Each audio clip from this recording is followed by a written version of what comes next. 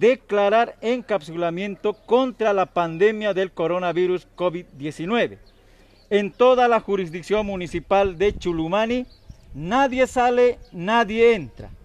Con esta ley municipal se declara el encapsulamiento total de la población de Chulumani, con el fin de evitar la propagación del coronavirus en esta ciudad. Para todos sus habitantes y estantes, sin excepción alguna.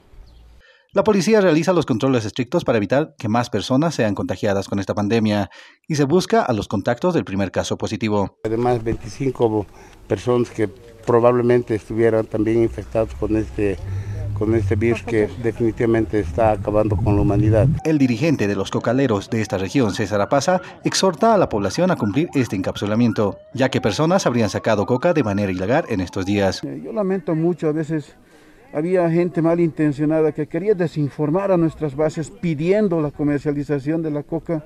Ahí está, hemos llegado a esta situación. La ley municipal también prohíbe el traslado entre comunidades y familias y se permitirá solo la circulación de militares, policías y personal autorizado.